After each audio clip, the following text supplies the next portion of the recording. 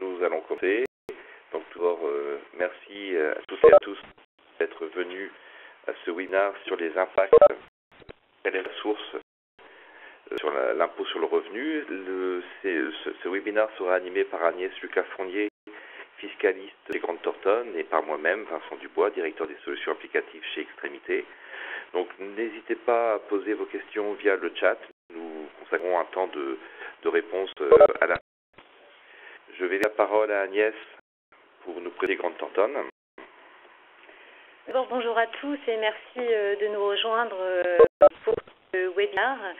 Euh, Grande Tortonne donc est présent en France à travers 25 bureaux et dans la région nord, la région qui nous intéresse, nous avons trois bureaux, Lille, Saint-Omer et Douai.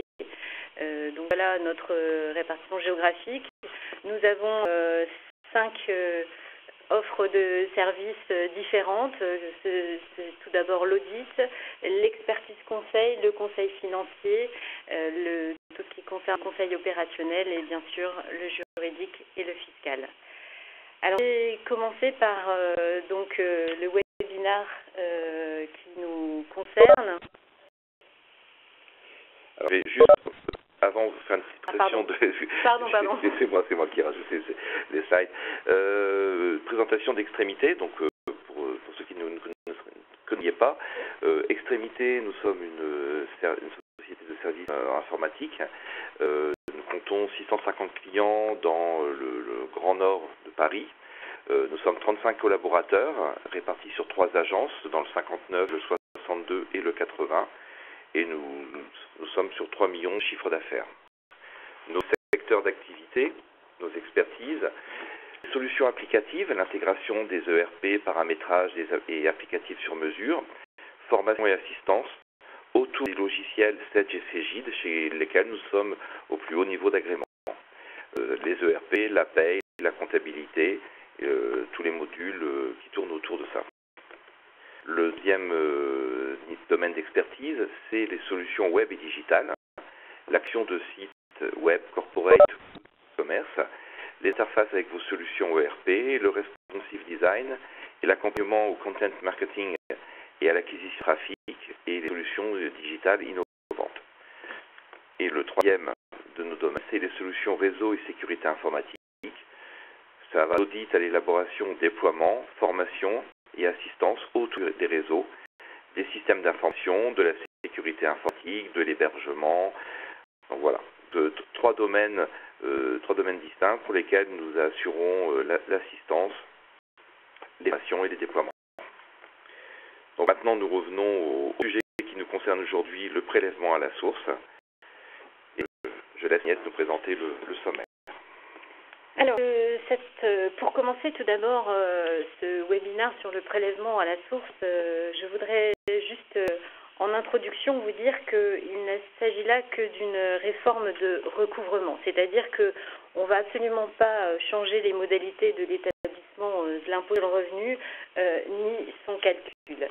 ce qui est important de savoir, c'est le pourquoi de la réforme, quel est l'objectif de cette réforme, quels sont les, revenus qui, vont être concernés par le prélèvement à la source.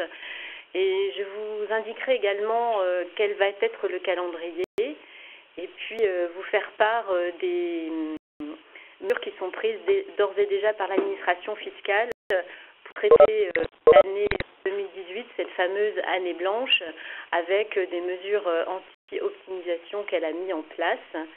Et enfin, je, je avec vous un petit peu les modalités techniques euh, de la réforme. Et comme euh, l'avait dit après euh, Vincent, nous, nous laisserons un temps pour vos questions et les réponses que je pourrai vous apporter. Tout d'abord, l'objectif de la réforme. Il faut se souvenir que cette réforme était prévue pour être appliquée au 1er janvier de cette année, que nous avons eu un, décalage puisqu'il y a eu un, un moratoire et, et un petit, euh, une évaluation de la réforme, que finalement elle a été décidée. Mais l'objectif majeur euh, de cette réforme, c'est de supprimer en fait le décalage euh, d'un an qui, existe actuellement entre l'impôt payé et la perception des revenus. Puisque quand vous percevez des revenus en année N, vous ne payez l'impôt correspondant au revenu que l'année suivante. Donc, c'est de rendre contemporain l'impôt sur le revenu. C'est donc de permettre que l'impôt s'adapte immédiatement et automatiquement au montant des revenus qui sont perçus. C'est l'intérêt de la réforme et c'est l'objectif qui nous est donné en place le prélèvement à source va aussi permettre de varier automatiquement euh, l'assiette des prélèvements euh, en fonction de la situation euh, des personnes et donc réduire l'impact financier en cas de changement de situation. C'est-à-dire que dès lors que vous aurez un départ à la retraite, une perte d'emploi ou même un, enfant qui va naître, automatiquement votre situation personnelle va être adaptée à vos revenus. Cette réforme donc entrera bien en vigueur euh, au 1er janvier 2019. Le prélèvement à la source euh, va concerner en fait la quasi-totalité des impôts qui sont soumis à l'impôt sur le revenu. Euh, on, voit en fait, je vous ai mis trois catégories de revenus concernés par le prélèvement à la source.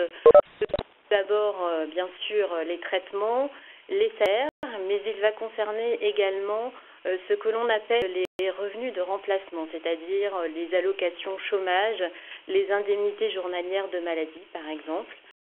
Euh, ce prélèvement à la source concernera aussi toutes les pensions de retraite et rentes viagères, mais on ne s'arrête pas là puisqu'il va englober également les bénéfices professionnels qui peuvent être perçus par le contribuable, donc ce soit des, des bénéfices industriels et commerciaux, des bénéfices non commerciaux, des bénéfices agricoles, mais aussi tout ce qui concerne les revenus euh, fonciers, euh, les revenus euh, des gérants et des associés, visé l'article 62 du Code général des impôts, également les revenus des travailleurs indépendants, des artistes, des compositeurs, et ça concernera aussi toutes les pensions alimentaires.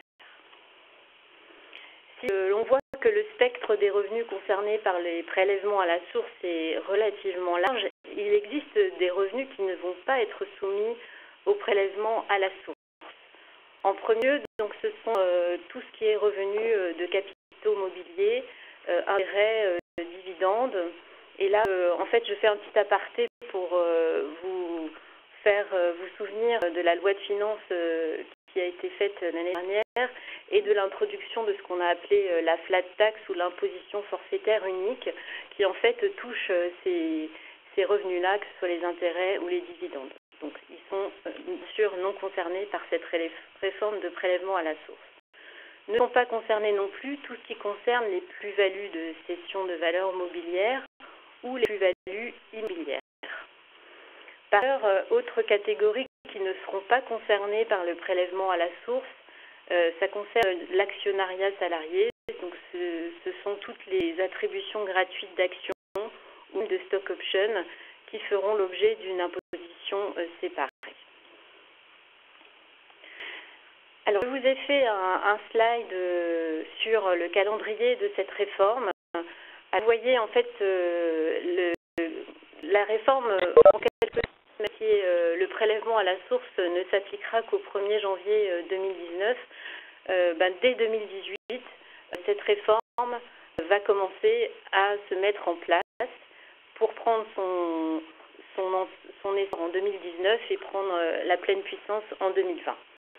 Euh, ce qui se passe en, 2018, eh ben, la réforme du prélèvement à la source va venir très vite, puisque comme vous le savez, nous allons devoir déclarer nos, nos, revenus 2017 donc nous, nous, allons faire une déclaration euh, comme chaque année, en avril et en juin euh, de cette année.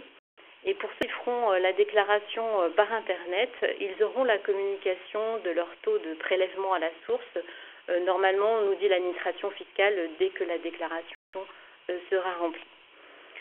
Mais pour tout le monde, à l'été 2018, l'administration s'engage à donner en fait le taux de prélèvement applicable à chaque euh, contribuable avec une possibilité d'opter pour un prélèvement avec un taux personnalisé ou non.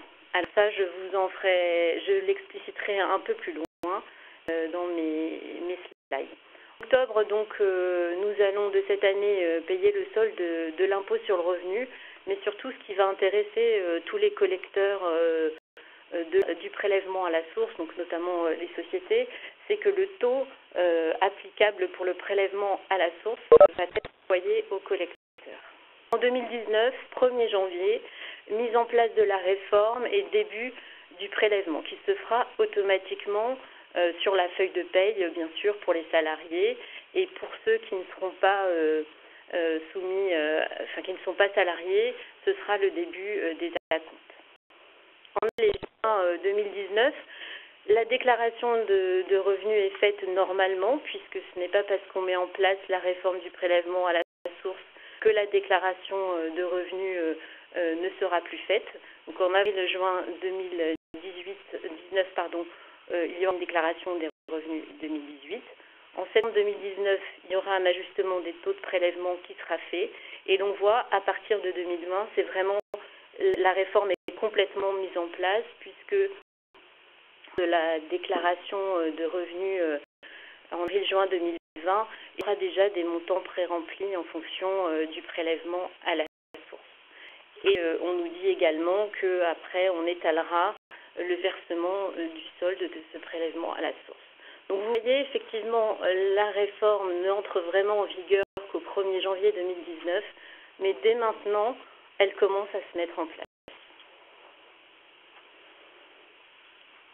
Je voulais faire euh, vraiment euh, un point sur cette fameuse année blanche, puisqu'en fait, l'idée euh, c'est de mettre en place un, crédit d'impôt euh, qui est dit de modernisation euh, du recouvrement, qui est destiné à, éviter que les contribuables, donc en 2019, n'acquittent leurs impôts au titre des années 2018-2019. Alors on va voir un peu plus tard, tout de suite je vous tiens à le dire, effectivement on a la mise en place de ce crédit d'impôt pour éviter une double position, mais en aucun cas c'est une année complètement blanche euh, où personne ne, paierait d'impôts. Crédit d'impôt euh, mobilité recouvrement, euh, il sera calculé automatiquement par l'administration fiscale, bien sûr sur la base des revenus 2018 qui sera déposé au printemps 2019.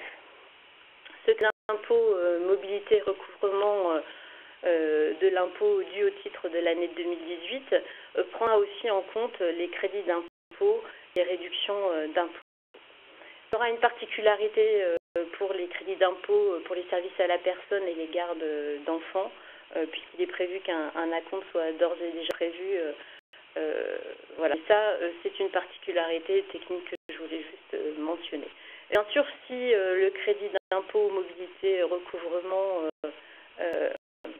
et un excédent, il sera restitué aux contribuables. Alors pourquoi je, parlais de, de, attention sur l'année blanche? Parce qu'en fait, vous avez compris que en fait, les revenus 2018 normalement sont couverts par le crédit d'impôt mobilité recouvrement. Donc on est censé pas payer euh, d'impôt à ce titre. Néanmoins, l'administration fiscale veut s'assurer que l'on ne va pas optimiser euh, sa rémunération, donc elle considère que les revenus euh, exceptionnels qui seraient versés en 2018 ne pourraient pas bénéficier de ce crédit d'impôt modernisation et donc être exempts euh, de tout impôt sur le revenu. Donc l'administration fiscale nous dit, nous définit les revenus exceptionnels alors, pour les traitements et les salaires, en fait, euh, l'administration fiscale nous dit que les exceptionnels, euh, elle a prévu cette liste, euh, une liste d'indemnités, de rupture de contrat de travail, de fin de fonction de dirigeant ou de mandataire social. Elle a prévu ça déjà dans, la première loi de finances qui, qui mettait en place le prélèvement à la donc on a toute une liste, mais qui n'est pas limitative, euh, que l'administration dresse en disant voilà tel et tel revenu serait susceptible d'être considéré comme exceptionnel. Mais euh, attention, cette liste n'est pas euh, limitative. Et par ailleurs, de toute façon, l'administration considère comme exceptionnels tous les revenus qui ne sont pas susceptibles d'être recueillis annuellement. Donc dès lors que vous avez un, un revenu euh, euh, qui n'est pas normalement euh, perçu euh, l'année d'avant, euh, elle aura tendance à dire que c'est un revenu exceptionnel et donc euh, qui sera soumis à l'impôt sur le revenu. Alors je voulais vous dire qu'en fait l'administration fiscale, elle, elle, nous dit qu'elle va mettre sur son site prélèvement à la source.gouv.fr une liste justement de ces revenus considérés comme exceptionnels. Et puis j'en reparlerai un petit peu après. Pour des revenus des titulaires des bénéfices industriels et commerciaux, euh, bénéfices non commerciaux et bénéfices agricoles, euh, en fait, pour déterminer si un revenu est exceptionnel ou non, euh, l'administration fiscale va faire une comparaison entre les revenus des années 2015 à 2017, en fait, pour calculer euh, son crédit d'impôt euh, euh, mobilité recouvrement, et dans un deuxième temps par comparaison avec les revenus des années 2015 à 2019. Vous voyez bien l'idée, c'est de ne pas faire de l'optimisation, c'est d'être sûr qu'on a à peu près le même niveau de rémunération. Les revenus fonciers, c'est pareil. En fait, on va définir, définir les, les revenus euh, non exceptionnels par rapport aux revenus euh, normaux. Donc, c'est les revenus dont l'échéance normale intervient au cours de l'année 2018, euh, à l'exclusion des recettes afférentes à d'autres périodes de location payées en 2018 et puis aux, aux régularisations de provisions pour charges non déductibles. Je voulais faire un point donc, sur cette euh, notion de revenu exceptionnel pour l'employeur collecteur, puisque vous voyez bien euh, l'intérêt, euh, si vous avez un revenu qui est non exceptionnel, vous êtes couvert par ce qu'on appelle l'année blanche, mais si le revenu est, exceptionnel, là, le revenu sera soumis à l'impôt sur le revenu.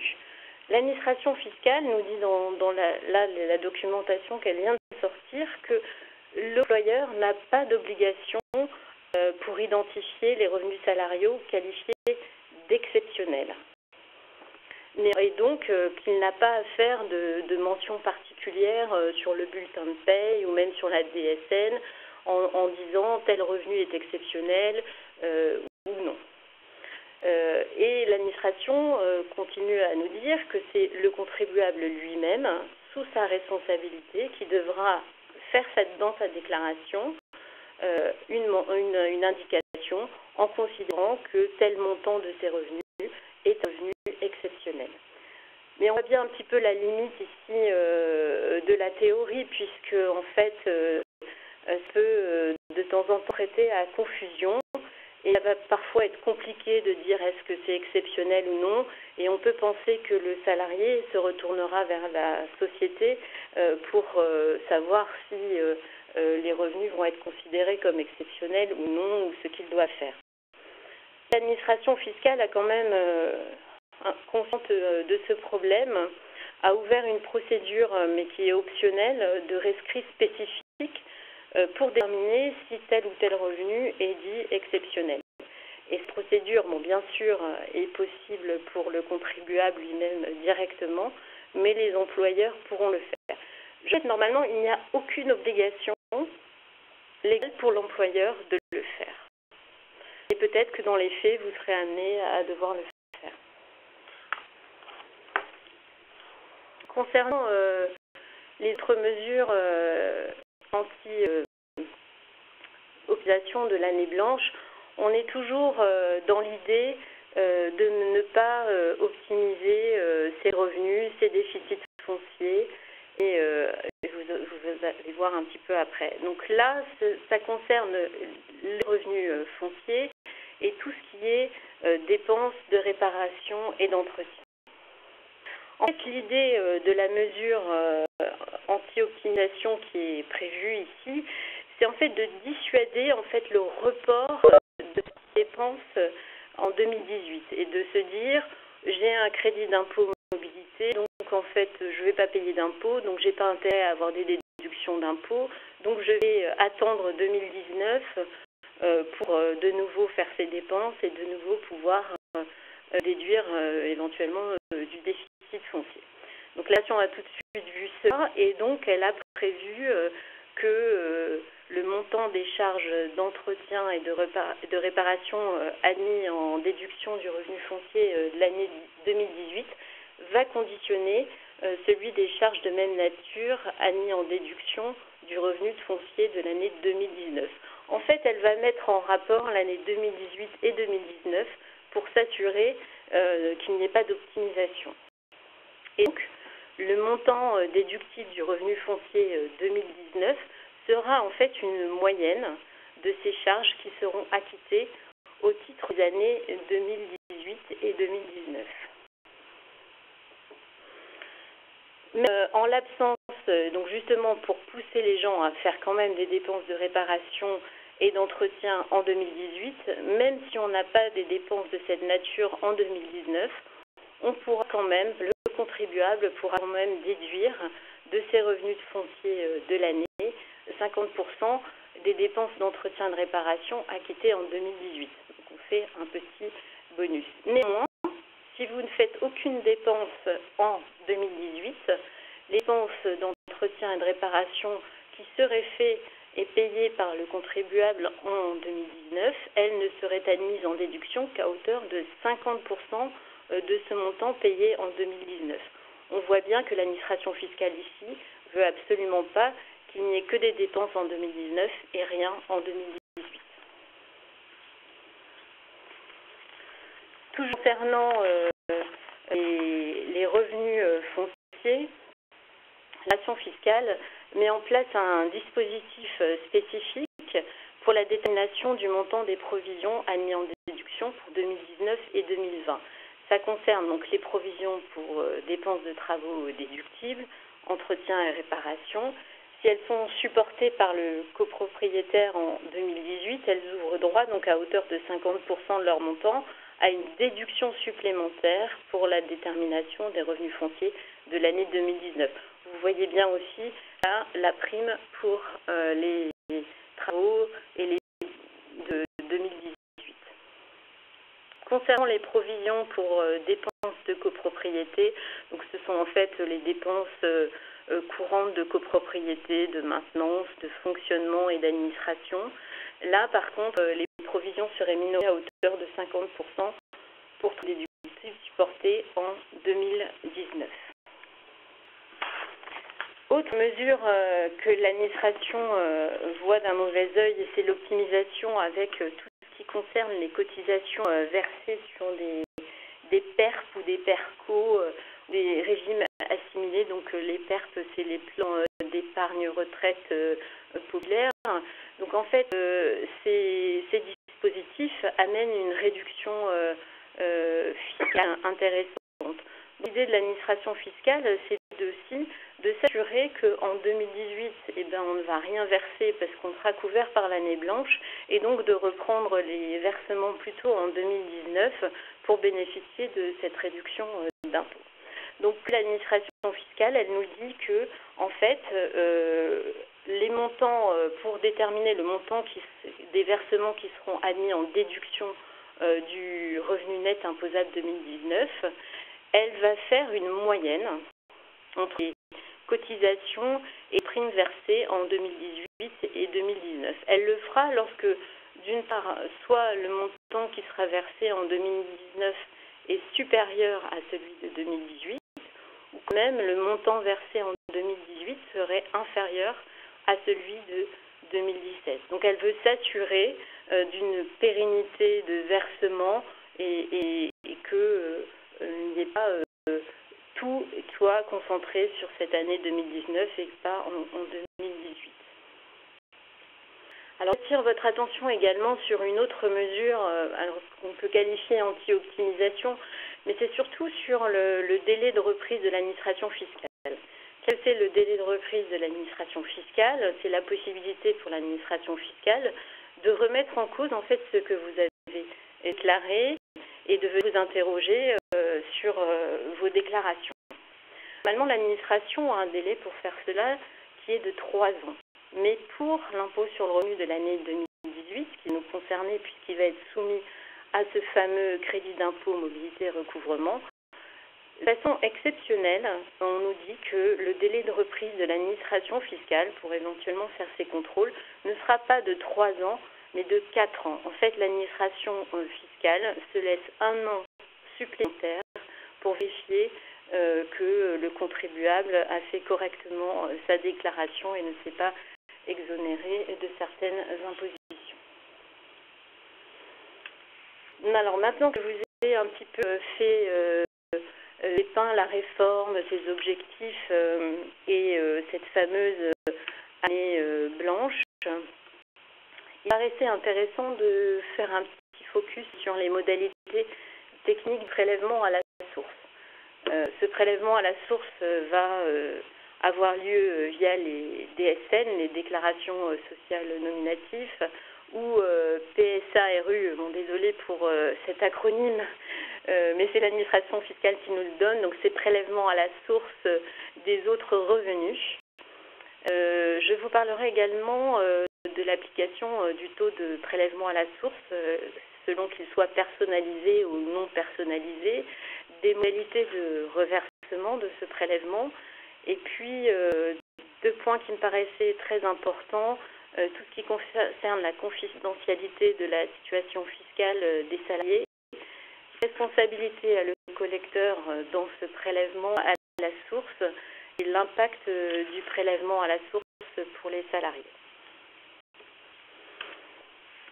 Tout d'abord, je pense que vous êtes assez au fait de cette déclaration euh, sociale nominative, la DSN. Et euh, cette déclaration, en fait, va être euh, le vecteur de cette forme et de cette mise en œuvre du prélèvement à la source, puisque tout passera par la DSN ou la déclaration PASRAU, donc prélèvement à la source pour les revenus quand vous êtes une société qui déjà déclare et, envoie une DSN, le prélèvement à la source sera intégré directement via la DSN. Pour les secteurs du prélèvement à la source qui ne seraient pas dans le champ de cette DSN, il, va être mis en place une déclaration euh, spécifique, dit euh, PAS-RAU, qui va s'inspirer en fait de la DSN. Euh, ce dispositif en fait va s'appliquer euh, pour les retraités, pour, donc pour les retraites, pour les indemnités journalières euh, de sécurité sociale, pour et les indemnités chômage. Donc on voit bien on a les deux vecteurs de, cette mise en œuvre de la réforme, soit la DSN, soit le prélèvement à la source pour les revenus autres. Pour ces déclarations, euh, que va-t-il se passer? Donc vous le savez, ces déclarations, donc pour le PASRAU, ce sera le même dispositif que la DSN. Déjà, euh, pour la DSN, vous avez une déclaration qui est faite mensuellement et qui est constituée de deux blocs. Un bloc dit individu et un bloc dit paiement. Le bloc individu, euh, donc, c'est euh, concerne tous les éléments euh, d'identification du bénéficiaire. Vous avez ce qu'on appelle le NIR, qui est en fait le numéro de sécurité sociale du salarié, et puis vous avez les éléments de l'état civil complet du salarié. Là-dessus sera ajouté les informations relatives au versement par individu, c'est-à-dire la date de versement du prélèvement à la source, quelle sera sa rémunération nette et le taux du prélèvement à la source. Euh, ça, on le verra un petit peu à la fin de, cette présentation, puisque Vincent vous fera des exemples un peu plus concrets euh, de ces modules. Euh, donc, vous disiez, vous avez un premier bloc qui s'appelle le bloc individu, et après, vous avez un bloc dit de paiement, en fait, qui mentionnera le montant global de prélèvement à la source que le collecteur devra reverser à euh, la DGFIP, donc c'est euh, l'administration fiscale. Donc il y a le montant du prélèvement à la source ainsi que les coordonnées bancaires. Euh, peut-être limite de cette déclaration, donc vous le savez bien, selon en fait l'effectif des entreprises, les SN doivent être déposée entre le 5 et le 15 du mois.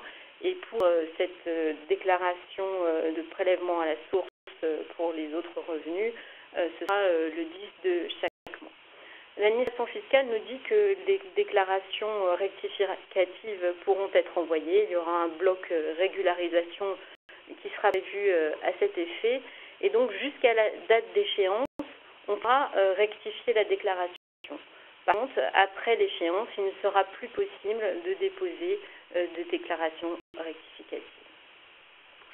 La mission prévoit bien sûr également une amende, puisqu'elle veut être sûre que le prélèvement à la source va être versé. Et si jamais le montant était n'était pas versé parce qu'aucune déclaration n'était versée, ou s'il y avait un retard tardif, elle serait applicable et elle serait égale à 10% du montant du prélèvement à la source Alors, le plus important, il me semble, c'est tout ce qui va concerner le taux de prélèvement à la source. Est-ce que c'est un taux qui est personnalisé, un taux non personnalisé? Donc, il faut savoir, c'est que en septembre 2018, donc ça approche très vite, les employeurs qui déposent une, une DSN correspondant donc bien sûr au, salaire versé au, au mois d'août 2018, donc les informations vont être transmises à, l'administration et sur, sur cette base, l'administration fiscale va faire ce qu'on appelle un flux retour, c'est-à-dire qu'elle va euh, adresser à euh, l'employeur, au collecteur du prélèvement à la source, le taux euh, de prélèvement applicable, le taux pardon, de prélèvement à la source applicable à chaque salarié. Donc ce sera en principe un taux personnalisé. Quand on parle de taux personnalisé, on parle du taux, bien sûr, qui est transmis par l'administration fiscale et c'est un taux par foyer fiscal.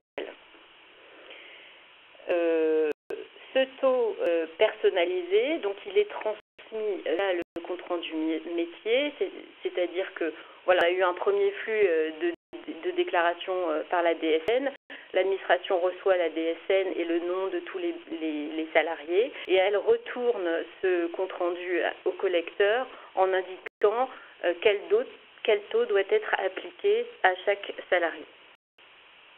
Alors, si le principe c'est a priori qu'on va appliquer un taux personnalisé à, chaque salarié, euh, bien sûr ce principe souffre d'exception puisqu'il euh, se peut que euh, le taux personnalisé ne soit pas appliqué et donc on applique ce qu'on appelle un taux non personnalisé ou un taux neutre. Ça peut être le cas euh, dans plusieurs hypothèses. Tout d'abord, si euh, on entre dans la vie active ou qu'on vient de l'étranger, dans ce cas-là, c'est le taux neutre qui va s'appliquer. Après, il, il, peut se passer aussi une raison technique sur l'application d'un taux neutre, c'est-à-dire que on lui envoie la DSN, que finalement il y a eu un échec d'identification par l'administration fiscale et donc on demande l'application d'un taux non personnalisé. Je fais juste une petite arté ici. ce qui va être clair, c'est que pour toutes les personnes qui, sont qui gèrent les DSN, il va vraiment falloir vérifier que toutes les les notions d'état civil, les noms, les adresses sont complètes pour sûr effectivement qu'on n'ait pas après les échecs d'identification. Après, euh, comme je vous disais, euh, l'application du taux personnalisé est un principe et l'administration fiscale laisse la possibilité à chaque contribuable de euh, ne pas appliquer ce taux qui lui est personnalisé et de ne pas transmettre à son employeur le taux. Et donc dans ce cas, c'est un taux euh, non personnalisé, un taux neutre qui va s'appliquer. Autre petite précision. Euh, lorsque vous êtes euh, marié ou paxé, euh, comme je vous disais, quand on va appliquer un taux personnalisé, c'est un taux qui va concerner l'ensemble des revenus du foyer fiscal. Et peut-être pour des raisons euh, personnelles, euh, le contribuable qui est marié ou paxé va demander à avoir un, une application d'un taux individualisé parce que il a des revenus moins importants euh, que son partenaire de Pax ou euh, euh, son conjoint. donc ça, ce sera possible également. Et de toute façon, le taux sera précisé dans le compte-rendu métier qui vous sera transmis. Autre chose importante, si jamais vous commencez à prélever le, le, prélèvement à la source avec un taux non personnalisé parce que le taux n'était pas disponible ou la personne ne voulait pas et qu'après euh, vous avez un taux personnalisé qui s'applique, en aucun cas la société devra rectifier rétroactivement les montants de prélèvement à la source. En fait, elle continuera, elle a commencé avec un taux non personnalisé et après on a un taux personnalisé qui s'applique, eh bien elle, le fait comme ça, elle ne doit pas revenir en arrière sur le prélèvement à la source qui est fait. Euh, tout après sera réglé euh, postérieurement par l'administration fiscale. Je vais aussi euh, vous faire part de deux euh, spécificités. Donc, c'est le cas des nouvelles embauches et des contrats courts. Euh, pourquoi pour les nouvelles embauches Parce que, en fait, l'administration fiscale nous dit qu'il est fort possible qu'il faudra à peu près un délai de deux mois pour obtenir un taux personnalisé et donc le transmettre. Donc, il est probable que quand vous aurez des nouvelles embauches, vous allez avoir un taux non personnalisé qui va commencer à s'appliquer et après vous allez avoir un taux personnalisé qui s'appliquera. Je rappelle, il n'y aura pas de rectification rétroactive à faire de votre part. Concernant euh, les contrats courts, là c'est l'administration fiscale qui a mis en place euh, un abattement spécifique qui sera égal à un demi SMIC net imposable, c'est-à-dire 597 euh, euros et qui va s'appliquer pour déterminer euh, le prélèvement à la source. Euh, le taux euh, qui va s'appliquer, personnalisé ou non, en fait, l'administration fiscale a déjà publié ses grilles et le taux ira de 0% à 45%.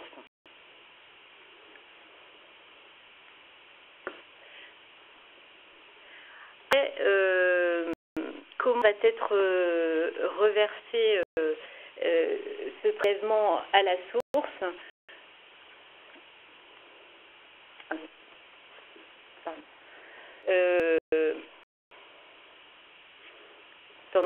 Petit problème. donc, comment va être reversé le prélèvement à la source pour à l'administration fiscale?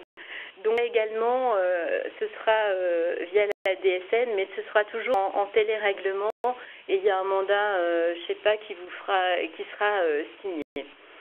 L'administration nous dit que pour reverser les montants prélevés au titre du prélèvement à la source, en fait, il faudra voir selon que l'on dépose sa DSN le 5 du mois, le 15 du mois.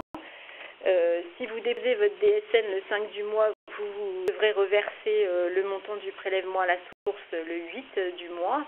Et si vous déposez votre DSN le 15 du mois, ce sera le 18 euh, qu'il faudra euh, le reverser.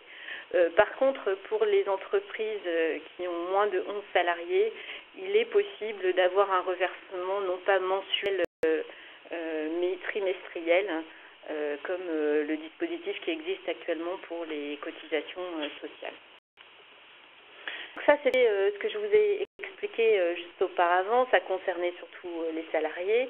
Mais si jamais vous avez, vous êtes titulaire de bénéfices industriels et commerciaux, de bénéfices non commerciaux ou de bénéfices agricoles, là, en fait, il y aura un acompte qui va vous être prélevé. Cet acompte, il va être calculé par l'administration fiscale et ce sera à vous euh, de euh, verser euh, cet acompte sur, par virement bancaire. Alors ce sera cet acompte sera payé soit par douzième, c'est-à-dire le 15 de chaque mois, soit si le contribuable le souhaite, il a la possibilité de payer ses, ses prélèvements en quatre fois, donc le 15 février, le 15 mai, le 15 août et le 15 novembre. Également, l'administration fiscale nous dit qu'il sera toujours possible de reporter le paiement d'une échéance sur l'autre, bien sûr sous condition. Là, c'est toujours l'idée euh, de, coller au plus près euh, des ressources et de rendre l'impôt euh, contemporain. Concernant ce prélèvement à la source, ce qui va se passer vraisemblablement, et ce qui va être un petit peu le, nœud du, problème, ça va être la communication qui sera faite aux salariés et quelle confidentialité sur la situation fiscale va être assurée. Qu'il faut savoir, c'est que l'administration fiscale reste et demeure l'unique interlocuteur pour le contribuable. la société, en tant que collecteur du prélèvement à la source ne doit avoir comme seule information que le taux de prélèvement à la source qu'elle doit appliquer à son salarié. Donc, je vous l'ai dit, soit ça va être un taux euh, dit personnalisé, euh, soit non personnalisé. Euh, en fait, le problème, ça va être la gestion de, cette euh, confidentialité et de bien rappeler à vos salariés que s'il y a un problème sur le taux qui lui est appliqué, ce n'est pas à vous euh, de gérer euh, ce problème-là, mais la gestion doit se faire avec l'administration fiscale, puisque vous, vous ne devez faire que l'application du taux. Tout ce qui est question donc relative à l'impôt sur les sociétés ça, c'est une relation entre euh, le, contribuable et l'administration fiscale et la, société n'a pas à intervenir. Euh, donc l'administration fiscale nous dit qu'elle met, euh, elle, va mettre, elle met en place un site internet avec des possibilités de, questionnement. Donc le site c'est prélèvement à la source.gouv.fr. Elle va mettre un numéro de téléphone euh, pour une assistance entre le contribuable et euh, la société. Donc pour euh, vous qui, allez être collecteur du prélèvement à la source, c'est vraiment important d'informer les salariés sur ce qui va se passer, mais leur dire aussi que, que vous, vous ne gérez que le taux qui vous est donné et que toute relation concernant l'impôt sur le revenu doit passer par l'administration fiscale et que vous, vous n'êtes pas part à ce euh, débat. Concernant la présentation euh, sur le euh, bulletin de paye, en fait, il faut absolument que l'on voit apparaître quel est le revenu net de cotisation sociale avant prélèvement à la source. Donc ça, c'est c'est pour le cas actuellement où on a un revenu net qui apparaît sur notre feuille de paye. Et on doit après faire apparaître quel taux du prélèvement à la source est appliqué. La nature de ce taux, c'est ce que je vous expliquais. Est-ce que j'applique un taux personnalisé ou non personnalisé? Aussi, euh, ce bulletin de salaire doit également indiquer euh, le montant euh, du prélèvement à la source qui est effectué et donc, à la fin, in fine, le montant du revenu net à verser après prélèvement à la source. Et ça rajoute des informations mais l'idée, c'est de dire j'applique tel taux. Pourquoi? Parce qu'il est personnalisé, non personnalisé. J'indique bien à mon salarié le montant de prélèvement à la source que j'effectue et donc je lui donne un revenu net de charge et net d'impôt. Donc je, le rappelle parce que ça va être un peu euh, un, enjeu pour vous, mais vos, en tant que collecteur du, prélèvement à la source, euh, finalement, l'entreprise n'a que quatre euh, obligations dans la mise en œuvre de, cette réforme. Vous devez appliquer le taux, vous devrez appliquer le taux de prélèvement à la source qui sera transmis par l'administration fiscale via la DSN, comme je le disais. Donc il faudra que vous reteniez ce prélèvement à la source sur le salaire qui est versé à votre salarié. Vous devez bien sûr déclarer les montants prélevés pour chaque bénéficiaire euh, des revenus et surtout reverser un mois après euh, le prélèvement à la source euh, du mois N. L'administration a bien sûr, comme d'habitude, prévu des sanctions en cas d'erreur. C'est ce que je vous indiquais auparavant. S'il y a une insuffisance ou une omission de, dans le du prélèvement à la source ou un dépôt tardif, euh, l'administration fiscale euh, vous euh, sanctionnera.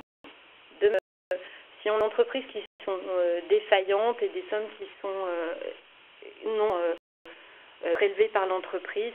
C'est vraiment particulier. L'administration se réserve le droit après de se retourner contre le contribuable, mais a priori, elle fera des démarches autres avant et ce sera vraiment en dernière ligne qu'on ira chercher le contribuable. Quel acte pour les salariés sur ce prélèvement à la source? euh, c'est tout d'abord euh, l'arrêt de la mensualisation de l'impôt sur le revenu pour ceux qui étaient mensualisés. Donc ça veut dire que euh, en décembre 2018, il n'y a plus de mensualisation puisque à compter du 1er janvier 2019, l'impôt sur le revenu sera prélevé directement sur le salaire.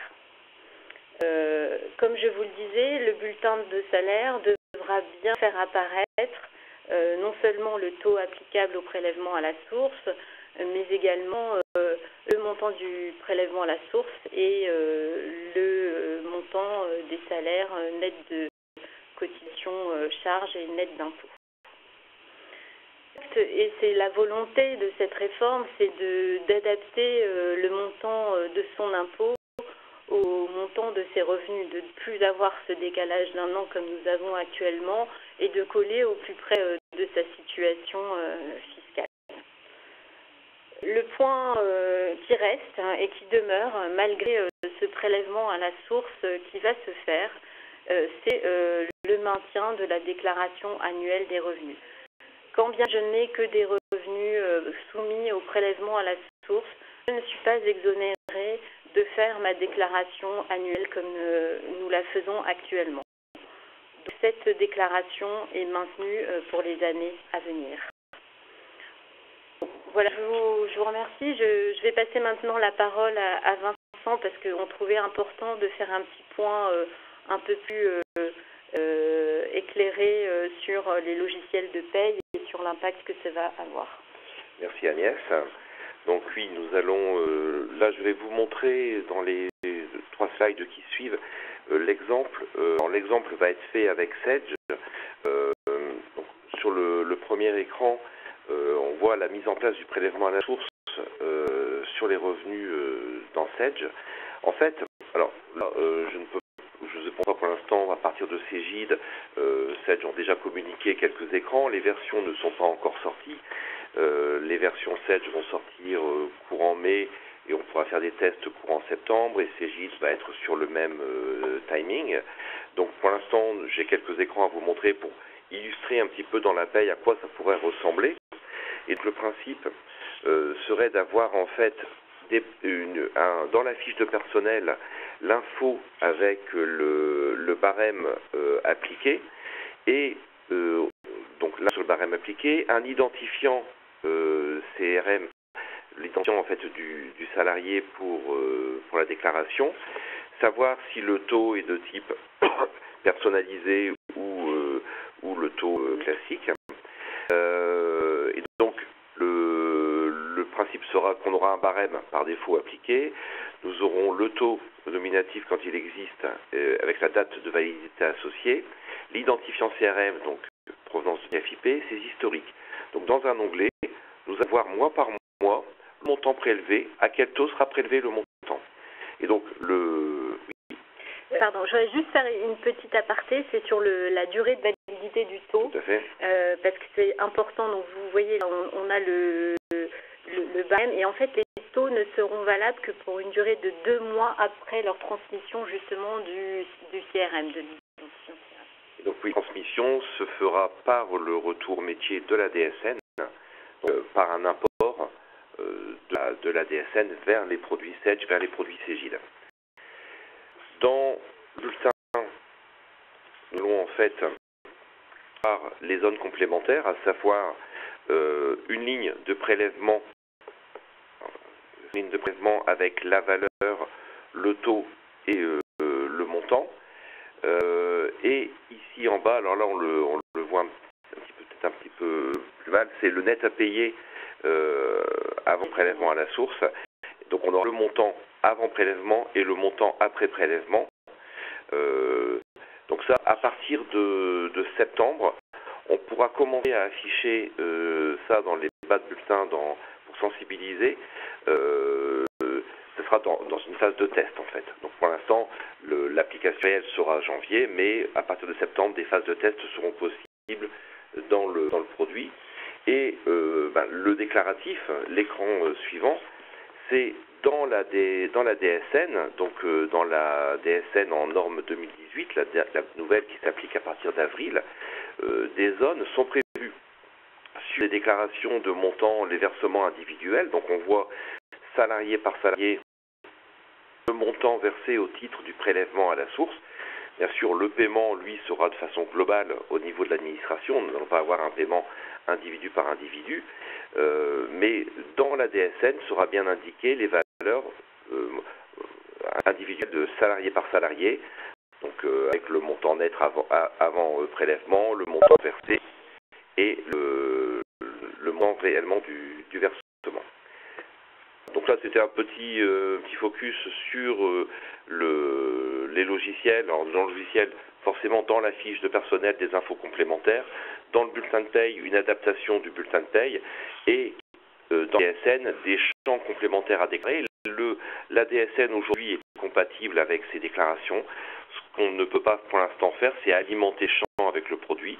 Donc ça, ça va arriver avec les mises à jour du mois de mai et euh, du mois de septembre sur les produits euh, pour permettre d'alimenter, de, de, déclarer, de commencer une phase de test.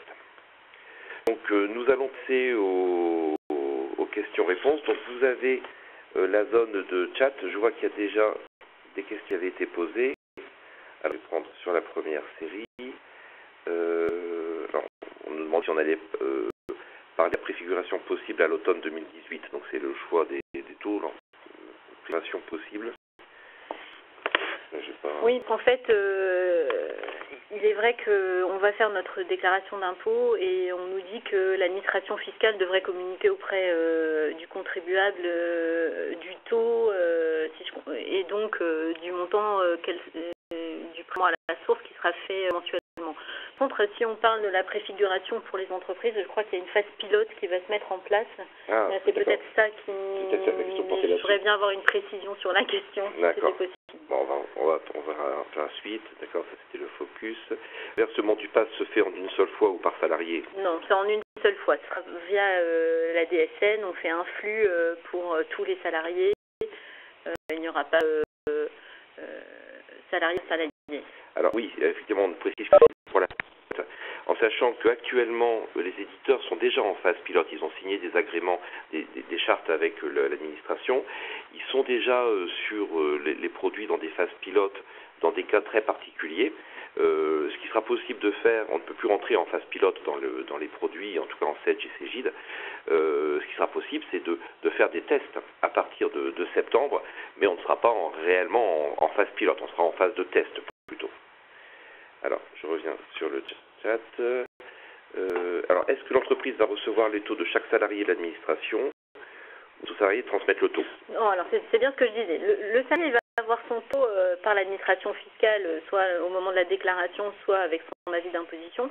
Mais comme je vous le disais, le taux que vous devez appliquer aux salariés passe par le compte-rendu métier, par la DSN. Donc c'est ce taux-là que vous devez appliquer. Ce n'est pas le contribuable qui vous donne le taux.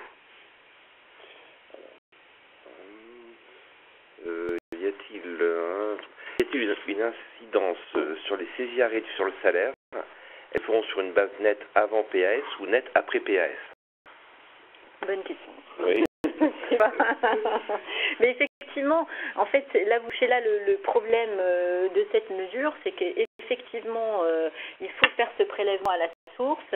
Vous allez être en première ligne avec euh, vos salariés là-dessus et en même temps, euh, l'interlocuteur reste administration fiscale. Mais effectivement, vous aurez vos saisies Mais je ne sais pas exactement euh, comment ça va se passer. Euh, pour l'instant, l'administration fiscale ne nous a pas donné toutes les modalités techniques sur la, la réforme qu'elle met en place. On est aussi un petit peu tôt, en fait, dans, enfin, même si c'est pour le mois de janvier, c'est vrai que toutes les réponses ne sont pas encore là et euh, bah, les phases de test vont permettre justement de définir tout ça. Hein. Alors, une autre question dans Sedge, cette fois-ci, il n'y aura pas d'intégration automatique des données fiscales. Si euh, le but est de pouvoir, avec le compte-rendu métier, récupérer les informations et les remonter dans le, dans le logiciel de Sedge. Le but et de ne pas avoir à ressaisir le, les taux salariés par salarié. Donc là, les modalités vont être euh, précisées dans la version qui va arriver et euh, à partir de septembre pour pouvoir faire les tests. Pas attendre parce que les taux vont être disponibles dans les, dans les comptes rendus. Euh, vous indiquez une adaptation automatique au montant de l'impôt, mais en cas de revenu exceptionnel, l'impôt ne s'adaptera pas à cette variation d'impôt. Par exemple, un salarié perçoit une prime exceptionnelle de 50 000 euros, alors qu'il n'était pas imposable avant, n'aura pas de passe alors que cette prime la rend, la rend imposable. Oui, d'accord, c'est tout. Sur les revenus euh, exceptionnels, c'est surtout pour l'année 2018 que ça va se poser, mais effectivement,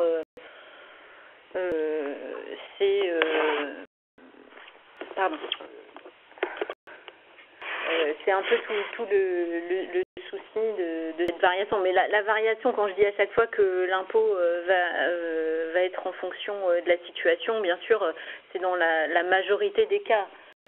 quand vous avez des revenus exceptionnels, euh, sera un peu différent. Mais, mais l'idée, c'est quand même d'avoir un, impôt qui colle à ces revenus. Alors, on a une question sur les contrats courts. Quand on parle contrat court, euh, quel est le montant du seuil euh, Je n'ai pas entendu. Euh, en fait, c'est un abattement spécifique hein, qui, oui. qui, va être mis en place. Je, je me permets juste, je vois que vous n'avez pas le temps de noter. Sachez que la présentation sera disponible sur la chaîne YouTube, donc vous pourrez la, la, la revoir à, à, loisir. Alors, par contre, les contrats courts, euh, bah, c'est euh, les contrats. Euh, enfin, on, on, a déjà le souci dans, dans la paye sur les contrats de, de voilà. De, de mois, même ouais, les, les contrats du, tout, dans, dans le mois en fait, où le, où le, où le salarié n'est pas encore connu par l'administration.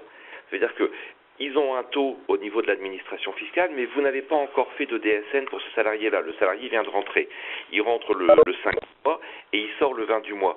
Vous n'aurez pas de taux parce que l'administration, vous n'aurez pas de DSN vous remontant l'information.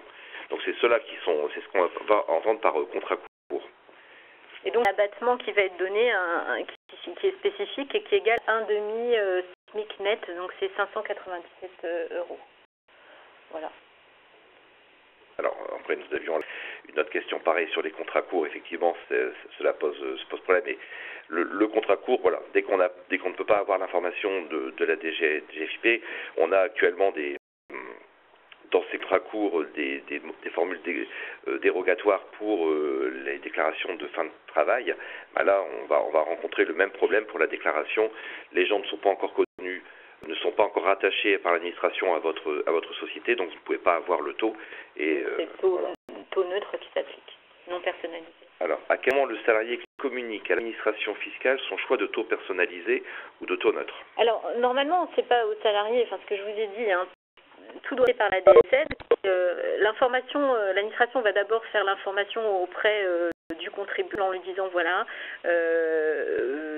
lors de l'avis d'imposition qui va qui va être reçu euh, euh, au cours de cette année.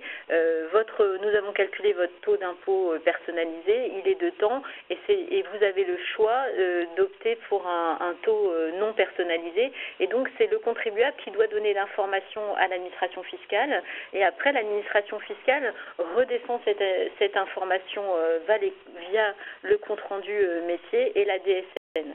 Là encore, toujours la relation, c'est entre l'administration fiscale et le contribuable. Ce n'est pas au contribuable de vous communiquer le taux. Le taux est communiqué via les DSN. Si le salarié a un bulletin de salaire nul ou insuffisant, maladie, non subrogée, absence, comment est-on bon, On peut un prélèvement à la source qui sera un taux euh, nul, hein. c'est prévu. Hein. Le taux euh, zéro existe. Hein. Alors, euh, de, de rupture de contrat de travail, il y a des indemnités de CP. Oui, je ne comprends pas la question. euh, de toute façon, c'est le, le revenu de façon globale. Oui, en fait, à chaque fois, ce qu'on prend en compte pour déterminer euh, le revenu euh, montant du prélèvement à la source, c'est le revenu net imposable. Hein.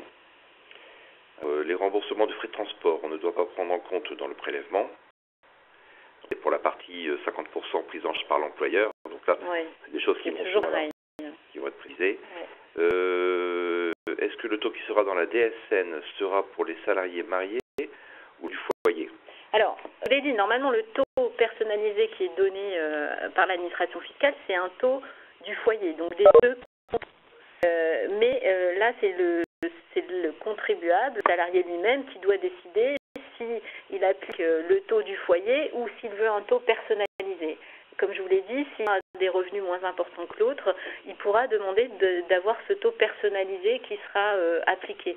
Mais également, ce sera aux salariés euh, d'en faire l'information à l'administration fiscale et d'opter pour ce taux euh, différencié du, taux foyer fiscal.